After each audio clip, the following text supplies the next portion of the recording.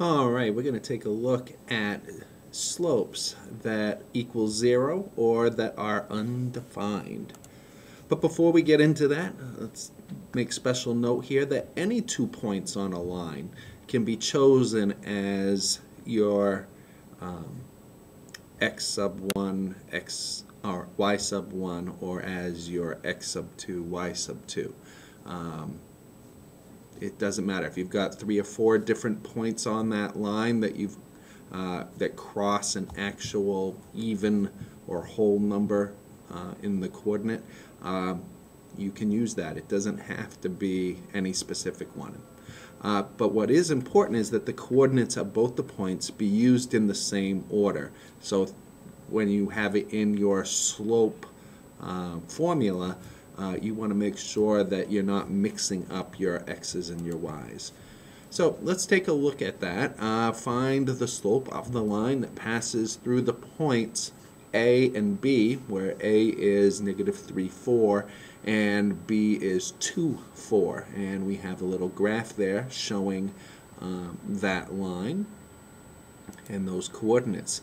So we've got our formula here for finding slope or m. Let's take a look and assign uh, different coordinates. Uh, we'll have negative 3, 4 be our x sub 1 and y sub 1. And we'll have 2, 4 be our x sub 2, y sub 2. And let's plug that into the formula. So we'll end up with 4 minus 4, and we'll have 2 minus a negative 3. When we do that subtraction out, we end up with uh, m equals 0 over 5. And when you do that, basically, when you divide anything uh, or divide 0 by anything, you're going to end up with 0. So in this case, m, or slope, is equal to 0. Now, this is also true of any horizontal line. Okay, Obviously, a horizontal line, it's going straight across the horizon, and there is no slope. It's not going up, it's not going down, it's just going straight across. So the slope is 0 take a look at another example. Find the slope of the line that passes through the points A and B, where A is 1, 3 and B is 1, 0. So we take a look at our graph on the left hand side and we can see our vertical line uh, at those points. Let's take a look at our formula for slope.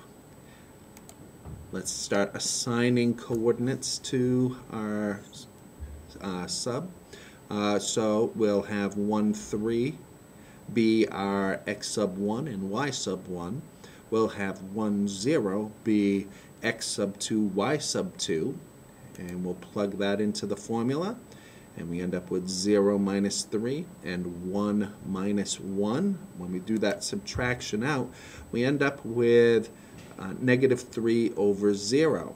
Now, because we can't divide something by 0, uh, we say that the slope is undefined. All right, we just can't tell what the slope is because uh, we can't divide something by zero. And this would be true of all vertical lines in a graph. If you ever have a straight up and down, then you say that the slope is undefined. If you have a horizontal line, then you say that slope is equal to zero.